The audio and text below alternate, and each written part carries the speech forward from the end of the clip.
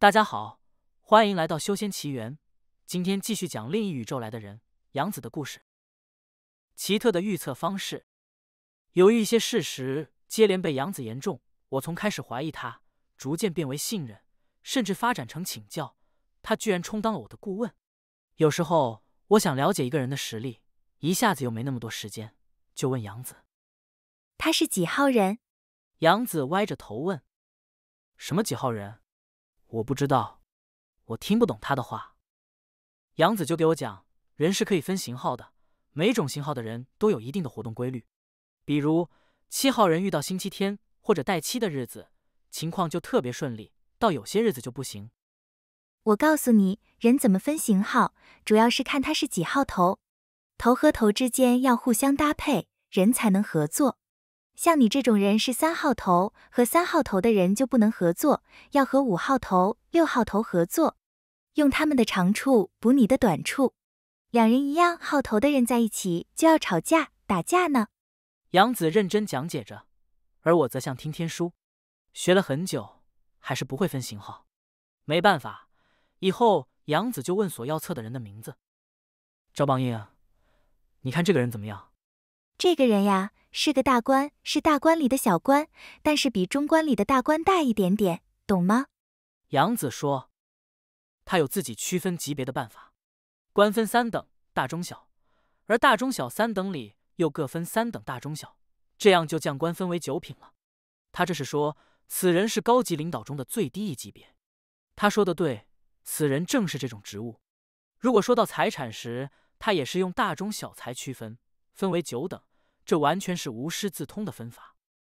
更奇怪的是，平时她是一个极顽皮、比男孩子还调皮的小姑娘，像是什么也不懂。一旦你向她请教时，她若认了真，仿佛一下子变成了另外一个人，有时令人好笑，有时令人毛骨悚然。记得有一次，我要去找一个领导，问他这位领导怎么样，他就学起那领导的样子来。他双手叉腰，肚皮挺起，头昂得老高，脚步慢慢的。一摇一晃的走着，做出一些指手画脚的姿态，脸部表情严肃，嘴角下撇，让法令纹显露出来，并不时的说：“这领导心里想的就是威风，威风，哼，哼，威风。”那怪模样，叫人看了忍不住会捧腹。他还告诉我：“你看人家大官都是说话慢慢的，不着急，这个事……嗯，就这样吧。嗯，好。”小人物说话都是快的，是是是，对对对，好好好。我真不知道他是怎么会观察到这些情况的。有的人可能一辈子也注意不到这种问题。他当时才七八岁。有一次，我想再试试他，就问他，我妹妹能不能出国去深造？他骑着小三轮童车，要我和他出去玩。杨子，爸爸跟你说的是正事，你怎么光知道玩？我很不高兴。爸爸别生气，让你跟我去玩，就是我在玩当中会告诉你姑姑的那些事。他歪着小脑袋，抬眼望着我说：“我只好陪他骑三轮。”他领我穿过马路，来到一家单位门口，那是个大上坡，上了坡才能进单位门。他从车子上下来，要推着走，我让他骑着上去，推着他和车子进了大门。那单位的里面有的路面高，有的路面低，一会儿上坡，一会儿下坡的，他也不着急。悠然自得的骑着，反正上不去坡时有我帮助，该下坡时他就一个人骑。我不耐烦了，问：“你姑姑的事情到底怎么样？”别急嘛，来，我告诉你。他压低声音，又向四周看了看，仿佛怕有人听见泄露了天机似的。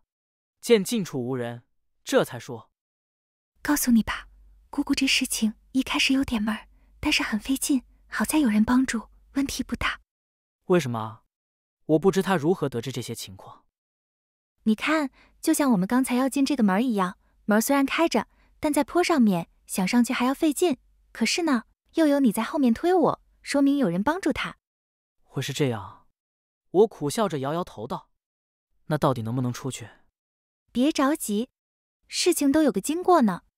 你看，就像这有上坡下坡一样，一会儿顺利，一会儿不顺利，挺费劲。不过一直有人帮忙，杨子不慌不忙，胸中似乎早已了然一切，不紧不慢的讲着。后来呢？我又问。别急，来，咱们骑着再往前走。他又骑着车子走，绕了许多弯，后来到了一个死胡同里，只好掉头又走回来。接着我们出了大门，穿过马路回家了。爸爸，我告诉你，姑姑的这件事办的时候，她想走的那条路是走不通的，只好改路，要不然就出不去。他到底能出去不能？我很着急，这关系到妹妹事业的前途。能是能，不过还得回来。出去多长时间？一年。不回来或时间长点不行吗？我不理解，为什么只能出去一年？国人出去都想在外面停留久一点。不行，开始只能是一年，回来以后还可以出去吗？杨子原则性很强，从来不会顺着我的意愿讲话。他认为是什么就是什么。后来事实的发展完全证实了他预言。一九九一年九月，妹妹终于经过艰难曲折办成了出国手续。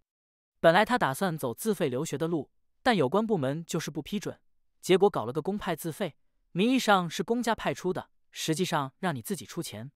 留学的时间定为一年，临近入学日期，手续才办完。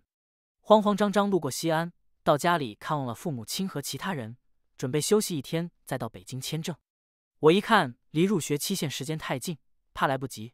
悄悄问了问杨子怎么办，他告诉我不要让姑姑停，马上就走。我立刻去买了火车票，当夜冒大雨送他去了北京。走后我仍不放心，因为误了入学日期，所办的出国手续就全部作废，得等到来年另行申请。刚刚能赶上，紧张的很。杨子悄悄告诉我，后来妹妹来信说，幸亏当天从西安出发去了，就先找日本使馆签证。本来使馆办公人员已下班了，因他的担保人给使馆打过电话，未等他一个人，留有人值班办了签证。接着又为国内其他手续和机票问题伤脑筋，总算幸运搞到了入学期限最后一天的机票。次日早晨十点赶到学校，参加了考试，居然还考了第一名。一年学习期很快就满了，本来他申请考博士的导师以及学校担保人方面都不成问题，然而国内的原单位说什么也不同意，只好到期回国。想起这件事，我就感到奇怪，好像杨子每次用的预测方法都不太一样，看上去很随便，但有时却出奇的灵验。母亲家要搬家时，母亲也让他看一看能不能分上大一点的房子。连续几次，杨子都是摇头。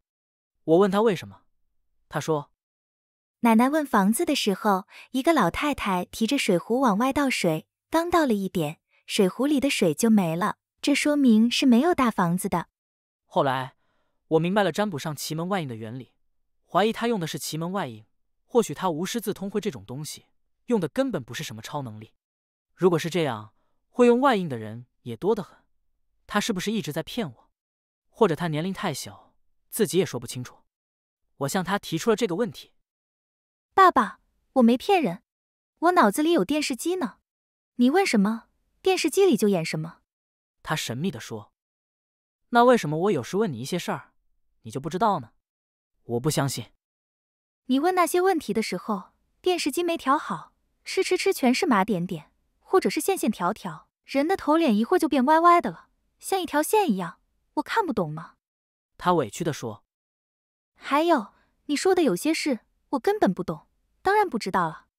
后来有一次，我带他到 C 先生家玩，C 先生一见就问杨子的情况，我把杨子的话告诉他，他笑了。我女儿开始也是这样，有时候一件事情过程很长，要看很长时间才知道结果。她后来也变聪明了，只看事情的开头和结尾就省劲了，又快。杨子以后也要学着这样做，懂吗？嗯。杨子点点头。在别人家里，他显得很听话，不了解的人都觉得他挺文静，其实是个调皮鬼。杨子，来。C 小姐一见。就把杨子领去玩了。他们是好朋友，C 小姐常和杨子交流些什么，他们俩的悄悄话谁也不知道的，包括父母也不例外。只有天知道他们说些什么。感谢关注《修仙奇缘》，请订阅、点赞、转发，打开小铃铛。请继续观看下一集关于杨子的故事。